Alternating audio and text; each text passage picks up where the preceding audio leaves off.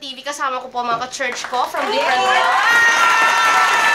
Ayan, kanina po marami na kaming ginawa. Nag, ano po kami, ah, self, ano, personal development kay Course Police si Sir Gigi. At ngayon po kami po ay nagtutour. Ayan.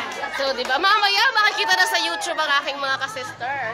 May ka- Mamaya, kung manonood sila lahat ng channel ko, at magsusubscribe sila. Ayan, papunta na po kami sa Alaminos Ward for babe, ah, paper bag and mat making.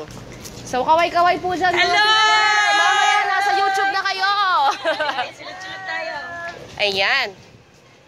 So, masaya po itong activity na to. Ito po yung ginagawa ng church namin ah, para po sa mga member ng church na mga babae.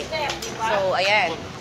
Pupunta na po kami sa susunod naming step. Kaya just stay lang kayo dyan, guys. And ah, babalikan po namin kayo mamaya-maya. Ganda-ganda ng aking kilay ngayon, pero busy pa sila.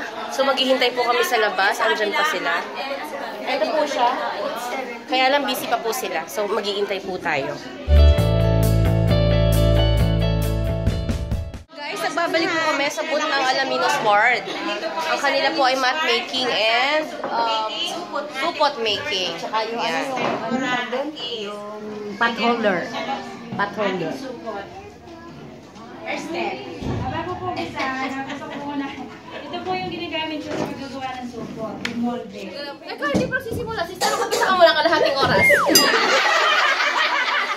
okay, guys. So, welcome to my channel. At ngayon po, sabi nila, yung mga nanditong ka-sister ko, masarap daw yung massage. Pero, Hindi pala. eh, hindi ako. Pag nagbablog ako, kahit kung may nagpapafood taste, hindi pa ako naniniwala na, oo agad. Kailangan matikman ko, tsaka ma... Hindi na ako ma-feel ko. Ayan. Sige po. Oh, hi kayo, hi! Hi. Ayan. Teka lang ha.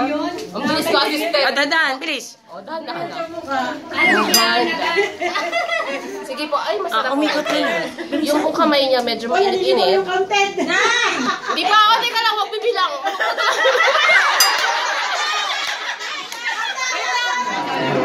Katie!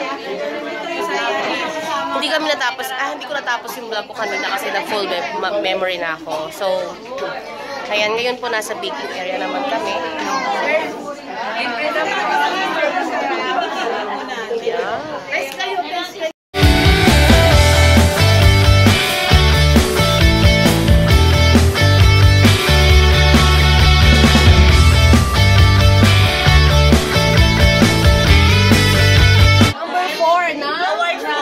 4. Ward 4, ayan. Sa kanila naman po yung mga pastries. So, ayan. Sis Don, magkasample daw tayo nito. Yes, yes. Tayo maglalagay. Come on, come on. So, stay tuned, guys.